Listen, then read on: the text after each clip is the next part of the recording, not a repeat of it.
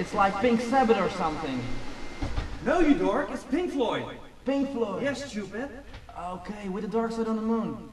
You know, Bill, sometimes I'm very happy, you know, with your anti-dust cleaner or something. You're right there, Mary.